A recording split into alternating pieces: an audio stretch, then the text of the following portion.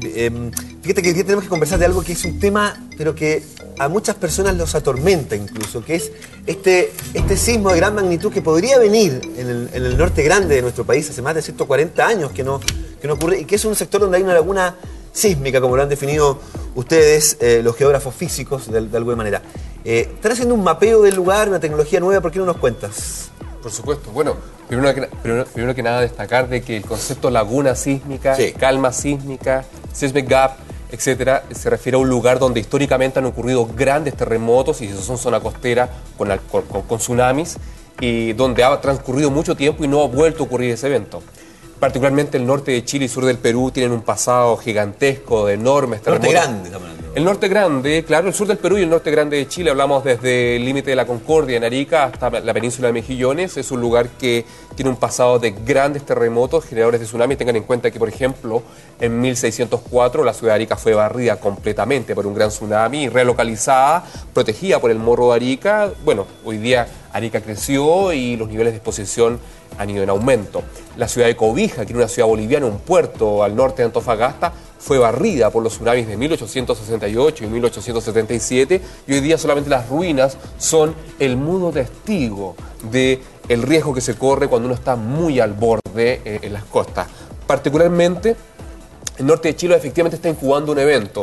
La verdad es que el último evento importante fue el 9 de mayo de 1877. Han transcurrido 134 años desde ese evento y por lo tanto es la calma sísmica más antigua de Chile. Antes del 27 de febrero del 2010, la calma sísmica o laguna sísmica más antigua de Chile era la que rompió en Concepción porque esa no rompía desde el 20 de febrero de 1835 y habían transcurrido 175 años. Te agrego una pregunta que cae de cajón, pero, pero eh, sin ánimo de alarmar, por supuesto Por que favor, no es la idea, pero eh, acá hay que estar atento y alerta. Eh, ¿Necesariamente va a romper en algún momento? O sea, tiene que romper físicamente, ¿no? Es imposible, digamos, que no lo haga, como pasó con Concepción, digamos. Sí, tiene que romper. Pero es muy buena tu pregunta, porque en la práctica nadie sabe cómo va a romper. Pero lo que sí sabemos es que hay un segmento, una zona costera que no ha incubado o no ha presentado un evento importante en mucho tiempo y el peor escenario sería que rompiera todo el segmento. Les voy a hacer un monito en la pizarra. Por favor. Muy rápido. ¿Ah? Para explicarnos mejor. ¿Cuál, re- ¿Me puedes repetir el año de en que el, de la 9 de mayo de 1877. 9 de mayo? Voy a dibujar el sur del Perú, 1877. el sur del Perú, el norte de Chile, la península de Mejillones aproximadamente, y nos vamos hacia el sur, ¿cierto? Ok. Acá está la ciudad de Arica, eh, por acá está la ciudad de Iquique, ¿cierto? Acá está Mejillones, aquí está Antofagasta, por aquí está Tacna, y si dibujamos, si vemos el escenario, por ejemplo, en 1995 rompe el segmento aquí al sur de Antofagasta. Esto rompió, es un terremoto, el año 95. ¿Ok? Luego, eh, el 2001 rompe en las costas de Arequipa, rompe por acá, segmento de acá, rompe el terremoto del 23 de junio del 2001, que tuvo un tsunami y generó y tuvo del orden de 30 víctimas. Luego, el, el 13 de junio del 2005, se me está moviendo la... Se te está terremoteando Sí, la, la, la el pizarra. 13 de junio- lo, que, se está rompiendo son la, la Claro, pizarra, por, acá, bueno, es un poco más a la costa, pero por acá tuvimos un terremoto, el- este fue el 2005, el 13 de junio del 2005, el terremoto de Tarapacá. Luego el 2007 rompió en Pisco, acá hacia el Perú. ¿Se acuerdan? El, Sí. el maretazo le llamaron los peruanos, ¿cierto? El 2007. Y luego tenemos acá el de Tocopilla, que rompe en este segmento acá, que es pequeñito, que este fue en noviembre del 2007, no sé si se acuerdan. ¿Ya? ¿Cierto? Este es el 2007. Entonces, si se, se observan, bueno, este es el 95 y, de- para acá siguen las rupturas hacia el sur eh, durante todo el siglo XX y parte del XXI. ¿Qué implica? De que en rigor el proceso de interacción de placas tectónicas entre Nazca y la placa sudamericana siempre van eh, avanzando mediante rupturas que nosotros las sentimos como terremotos y si tienen componente de formación vertical del fondo oceánico, habemos tsunami. Pero ¿qué pasa? Si se dan cuenta, desde las costas de Tacna hasta Península de Mejillones hay un segmento que no es una calma sísmica, una laguna, un lugar donde no ha habido un evento. Si yo mido la distancia que hay de aquí hasta acá, hasta Península de Mejillones, que la Península de Mejillones generalmente actúa como una especie de barrera, una aspereza que limita los terremotos, tenemos aproximadamente 600 kilómetros. Con 600 kilómetros de longitud de ruptura. Y si sabemos también que las placas se mueven aproximadamente a 7 centímetros año, Es como la distancia de ruptura del 27 de febrero del 2010, ¿no? Un poquito más grande. Un poquito más grande, porque fueron como 500 y tantos kilómetros. Claro, ¿por El- qué? ¿Por qué más grande? Porque, bueno, esto es re interesante, porque la distancia que hay al eje de subducción o a la zona donde las placas se encuentran es del orden, en esta zona de 200 kilómetros, como en Japón, como en las costas de Honshu. Por lo tanto, la posibilidad de perturbar verticalmente el fondo oceánico es mayor. En cambio, cuando fue Constitución, Concepción, la costa está más cerca del eje de subducción o la fosa. Por lo tanto, la posibilidad de perturbar columna de agua es menor la superficie. Acá podría ser más Eso grande. en palabras Podría simples quiere decir que el tsunami podría ser peor. podría ser peor en un peor escenario. Ahora, este es el peor escenario que nos podemos dar, pero no sabemos si va a romper así. pregunta. Y ahí me, conecto con la pregunta de Julián. centímetros que se juntan cada eso- ¿Qué implica eso? Esto son- esta es la tasa de convergencia. Si yo, si hacemos la siguiente operación matemática y compleja y avanzada. Mira, por favor. Multiplicamos. 2011 menos 1877, que fue el último terremoto importante en el norte de Chile, vamos a tener 134 años, ¿cierto? Sí. 134 años han transcurrido desde el último momento. Si yo multiplico 134 años por la tasa de convergencia, o sea, cada año se acumulan 7 Sí. centímetros de deformación entre las placas que no se mueven.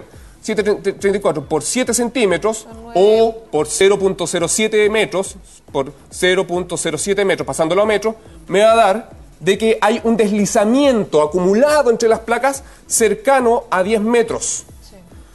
10 metros de acumulación, de deslizamiento acumulado entre las placas, me permite inferir que por lo menos acá podría haber un terremoto en el peor escenario que rompa todo el segmento desde el sur del Perú hasta Península de Mejillones del orden de 8.8, incluso podría llegar a 9, ¿Cuánto como el de Japón. El desplazamiento que tuvo eh, en el terremoto del 27 de febrero del 2010. ¿No fueron 10 metros? ¿Cuánto fue? Mm, Eh, en promedio 12, 14 metros, 10 Pero metros. sí. Pero la verdad es que este es, este es una, una forma de aproximarse porque Obvio. el desplazamiento entre placas no es uniforme, Qué es esperanzador y tranquilizador No, no, pero qué tu inter- mapa y tu explicación como para salir arrancando no, no, no, no. romper tu tabla. O sea, es más, vámonos. Eh, No, vamos.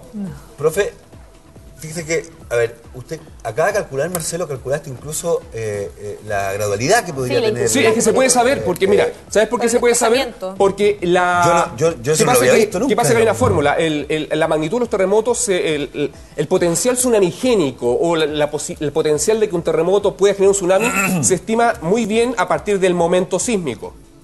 El momento sísmico, que es una, una- una- una- una unidad para medir energía, y el momento sísmico es igual a eh, el- el- la dislocación, que es un U, se llama 10 metros, yo tengo ese valor 10 metros, y esto se multiplica por un parámetro de rigidez, yo puedo calcular a qué, con qué fuerza rompen las rocas en ese segmento. ¿Ah? ¿Y cómo se calcula Eso se calcula en laboratorio, cuando tú vas al de- a resistencia de materiales, al DECON, Ah, o ya. vas a... No, pero yo a pensé que en la zona Claro, pero en- se puede calcular. En esta zona podemos tirarle 3 puntos... eh, le podemos tirar 3... Se puede calcular 3 por 10 elevado a 10 newton metros, que es una unidad de fuerza. Y Eso lo luego... pasé hace muchos años yo. en- Pero, pero, pero eso, por esto, multiplicado por el largo y por el ancho, el largo lo tengo, mira, tengo el largo, ecuación me 600 quedó grande kilómetros, tengo el ancho, 200 kilómetros, tengo el parámetro de rigidez a la fuerza y tengo el deslizamiento estimado, yo a partir de esto puedo estimar un momento sísmico. Y ese momento sísmico me permite llegar a la magnitud potencial que podría tener el evento, que es la magnitud de momento sísmico, que es la que se utiliza para los eventos importantes. Por lo tanto, yo así puedo inferir más o menos que podría llegar a un evento cercano a 9. Cercano a 9 es un evento gigante. Profe. Oye, pero puedes determinar la magnitud. pero profe. no, eh, yo le traje una manzanita. Eh, pero no puedes determinar el tiempo, el espacio, los años o el lugar donde va a ocurrir. Nadie. Ahora, ojo, señoras y señores que nos están observando, es que este es el peor escenario imaginable. Puede ser que no ocurra esto. Puede ser que tengamos terremotos pequeñitos. Ochos acá, ochos y pero, pero rescatando las lecciones aprendidas después del gran desastre del sudeste asiático, ¿cierto? El 2004, el terremoto de Sumatra Andamán, que nadie lo esperaba y No, ocurrió allí. Rescatando las lecciones aprendidas del gran terremoto y tsunami de las costas de Tohoku, ahora el 11 de marzo del 2011, que los japoneses tampoco lo esperaban, tenemos que ponernos, como decimos en Chile, el parche ante la herida. El peor escenario es que tengamos un gran Pero- terremoto con un gran ¿Qué tsunami hacemos? consecuente. ¿Qué hacemos? Es que Prepararnos. tengo Antes de No, que no, hacemos... Están una. peleando los estudiantes para averiguar. una. No, es que antes de preguntarte qué hacemos, porque tus cálculos son. eh, son. Poco alentadores. Son rudos. digamos. No, no, no, No, más- no, te quiero preguntar por la profundidad. No hemos hablado de la profundidad. del evento. Del evento. Ya. Es decir, hablamos, dijiste, dijiste, calculaste la, eh, elevado al, al cubo, Ya. multiplicado por MO, Ya. eh, bajado por no sé qué. No, no, sí. Y Newton Eh, Newton y el profesor caballero. Salomón y tu, tu, tu, tu, llegamos a la conclusión, en serio, Marcelo, de, que algo así como fritos. 8,8. Oye, no Sí, le quitemos nueve, velocidad. cercano. Pero, pero lo que importa también, lo vimos con el terremoto de Nueva Zelanda, es que fue baja, bajo en, eh, en, en- en- ¿cómo se dice? Somero, superficial. Más bien somero. superficial. Superficial. somero. Claro, fue Superficial. Somero superficial. pero fue muy sobre cerquita de la superficie. Acá, ¿de qué estaríamos hablando, profe? Mira, generalmente en Chile, si este es ¿Cuál es el el. nivel del mar? Ahí Ya, voy a dibujar el nivel del bien. mar por acá. Ahí, eso. ¿Cierto? Ahí, Este es el nivel del mar. Acá van los- lo- la- las embarcaciones, por ejemplo, la Esmeralda andaba por acá. Ah, este es el Morro de Arica. Bueno, está un poco más cerca de la costa. Pero evidentemente este, este- esta zona más profunda que está acá donde interactúa la placa de Nazca con la placa eh, sudamericana es la zona más profunda. Le llamamos fosa. Perdón por mi letra, fosa. Ahí es donde quedan las coas. No, esa es la zona de contacto. La verdad es que la zona con potencial tsunamigénica es esta. La que va desde la fosa hasta la línea de costa. Por lo tanto, si esta es la profundidad, la profundidad es muy superficial. Estamos hablando de que la zona sismogénica en Chile, con potencial para generar un tsunami, va más menos hasta los menos, hasta los menos 50 kilómetros de profundidad. ¿Mm? Que, por lo tanto, es un terremoto con un foco potencialmente superficial. Ah, y por lo tanto, como rompe y perturba parte del fondo oceánico, la posibilidad de generar un tsunami como históricamente ocurrido es alta. Profesor, ¿puedo yo? Adelante, Carolita. Dos preguntas también. Una, quiero ser optimista. Siempre. Sí, siempre optimista porque quizás en estos 600 kilómetros que podría ser la ruptura o futura ruptura en el norte de nuestro país, podría ser que quizás se vayan dando pequeños sismos o terremotos como lo hemos visto en la historia reciente de nuestro país, Sí. quizás en pequeñas zonas, cosa que no se active esta media falla o Sí. ruptura de 600 kilómetros y quizás se vaya dando uno de 70 kilómetros, otros de 30 y así eh, evitamos este potencial Ya. eh, mega pregunta. terremoto. Sí, interesante pregunta. La verdad es que yo no diría que puedan ocurrir eventos eh, pequeños. Yo creo que van a ocurrir eventos grandes. Estoy hablando de que cuando hablamos de un evento cercano a 9 en magnitud, estamos hablando de un evento gigante. Claro. Los eventos que Mega. podrían ocupar ese espacio donde no había una ruptura podrían ser grandes, pero no pequeños. ¿Pero Ni pequeños hacemos? ni medianos. No, no, pero es que ¿qué es lo que hacemos? Lo que estamos haciendo acá, estamos educando a la comunidad, a nuestras autoridades que ven el matinal. Estamos Morro, educando de en rigor morro. a la gente que tiene que tomar No, decisiones. Y en rigor hay que entender de que vivimos en el país más sísmico junto a Japón e Indonesia del planeta, por lo tanto, con propiedad debemos ser todos expertos en la Fantástico, materia. estamos educando, efectivamente. Además estás explicando como yo nunca había visto, Sí. te lo digo en detalle. Hiciste un cálculo que es un No, cálculo eh, físico, pero me parece que, que lo entendemos los seres Ya, humanos pero normales. Lo que no entiendo es cuándo. El cuándo, el cuándo nadie lo puede decir, lamentablemente. O sea, pero- venía a asustarnos, pero nada. No, no, no, yo no vengo a asustar. No, es una pregunta y a solamente estoy explicando. Bueno, nos vienes a educar. Vengo a educar, Chao. claro, y a compartir con ustedes conocimiento. Mira, lo importante es de que eh, nadie hoy día, podemos avanzar en términos de, en geociencias, podemos predecir muchas cosas, lo hemos discutido acá, ¿cierto? Podemos avanzar, saber si el huracán va a llegar a la costa de este Estados Unidos, si el huracán, ¿cómo se llama el huracán de la semana pasada? El que llegó a Japón. Eh, el tarro, taco. Taco, Kobe, no, ¿cómo se llamaba? Espérate, no algo así. Eh, El- era el- como taco, teco, algo así. Bueno, el huracán, el comportamiento que tiene, si, pasa de tifón a tormenta tropical, podemos saber si el niño se manifiesta o no se manifiesta, podemos saber si hoy día va a ser calor o mañana, pero en temas de geociencias, en la anticipación del escenario futuro mediante modelación anticipada, en rigor estamos a años luz. Por lo tanto, tenemos que fortalecer espera. la educación de las comunidades costeras y la investigación. Profesor, perdón. Y eso se que- integra en el mapeo de peligrosidad sísmica del norte de Chile. Necesito interrumpirlo, porque si bien usted está educando, tiene toda la razón. sí, sí. eh, la Mónica hace una pregunta excelente, claro, que es difícil de responder. Dale. ¿Cuándo? Es la pregunta del, del millón. To- to- to- Mira, La el la lotería. Pero espera, déjame, déjame ir al punto que voy. Ok. ¿Por qué si puedes hacer el cálculo con Sí. números y todo de eh, cuánto va a ser? Sí. Dijiste 8,8 En- aprox, cercano 9. a nueve. eh, en En la el zona escenario. exacta. Y si sabemos que hace 140 años, un poco menos, un poco más, cálculos más, cálculos menos, eh, no ocurre ningún sismo, ¿no se puede establecer un parámetro de conducta de la historia de la humanidad? De que hay un momento en que se quiebra y se quiebra nomás. Muy buena pregunta, Julián. Se han hecho todos los esfuerzos. Sin embargo, existen diversos patrones y comportamientos y generalmente no se cumplen en todas las situaciones. Por lo tanto, yo no puedo establecerlo como una teoría. En rigor, en algunas partes hay precursores y luego el gran evento. En algunos lugares ocurre el evento de inmediato. en algunos lugares son eventos pequeños, la verdad es que no sabemos. Pero no se podría determinar quizás una cantidad de años, es decir, desde aquí, 2011 al 2018, ¿estamos propensos a que ocurra esto? Eh, la probabilidad aumenta. Pero nadie puede ser categórico. Es más, la gente del norte de Chile y particularmente Arica, donde ayer se inauguró, por ejemplo, un sistema de información para el manejo de emergencias, eh, viene escuchando hace décadas hace décadas la historia de que se va a repetir el gran terremoto y tsunami que siempre ha ocurrido. Lo importante es que la gente tiene que entender que los tiempos de incubación de este tipo de eventos escapan al tiempo calendario humano. Pueden pasar generaciones completas que no lo experimenten. Por lo tanto, si yo lo escucho desde el 1952, que nací en Arica cuando quizás los 60 era Puerto Libre, y lo sigo escuchando hoy día, que es 2011, en rigor no está mal. Nadie está mintiendo. Ya, el tema es de que no se puede predecir. estamos habla- a ver, ya. Eh, a grandes rasgos, estamos, han pasado 134 años. Ya. Pueden pasar 200 años, Claro. 300 años. No, ya. no, Ni siquiera no, te estoy no. hablando de que Claro, me digáis eh, pasado mañana. No pasa de 20, no Sí, sé, claro. ¿me, me entendió, no? Es el tema. Mm, no, yo diría que debería venir ya. O sea, en la práctica. Pero el ya, pero el ya es súper ambiguo. Está Y es por piso, eso. Si, si es que también hay que ser honesto y transparente. ¿ah? Porque nadie puede Pero ya, ¿a qué dices ya? Ya, ahora. Ni siquiera el próximo año. No, no, es que, es que el el ahora puede ser ahora, ahora. en rigor, pero es más, no necesariamente va a ser, o sea, eh, tiene que venir, porque siempre ha ocurrido. ¿Y puede ser suave? No, pues por lo que te estoy diciendo de los 10 no, metros, si yo de estoy, tratando, estoy tratando de llenarme de, ánimo. de llenarme de optimismo, porque No, no, estamos no, no, no. educando, efectivamente. Mira, no, yo pero creo pregunto, que- puede ser que algo pase. En, Sí. en- eh, que tus Mira, pero mira. no sean exactos, no, no porque te hayas equivocado Sí, sí. en los cálculos, No, sino no, que no, porque no. la- los movimientos, qué sé yo, la luna, algo provocó que... Sí, mira, yo creo que más allá de si va a ser eh, atenuado el comportamiento de este evento, no tan peligroso, hay que partir de la base de que Chile es un país que tiene una norma de diseño sismo resistente robusta, ejemplo mundial eh, y discutida en cátedras en las mejores universidades del mundo. El caso chileno se estudia.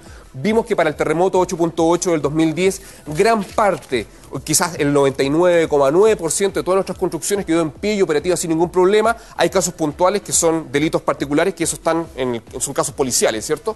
Pero, y lo mismo pasó en Japón, cuando estábamos en Tokio ahora, después del terremoto en Sendai, después del terremoto gigante en las costas de Tohoku, las ciudades estaban operativas sin ningún problema. Segundos después, el Shinkansen, el tren bala que atraviesa todo Japón, estaba operativo horas después de un terremoto 9. En la práctica, las ciudades de Chile cumplen en términos de construcción con estándares de diseño sismo resistente. Por lo tanto, ¿El las, norte? las ¿El ciudades, las ciudades, las construcciones modernas no deberían colapsar. Ahora, lo que debería colapsar es lo que está, que no cumple con la norma. El adobe, el adobe mal mantenido, la falta de fiscalización, etcétera.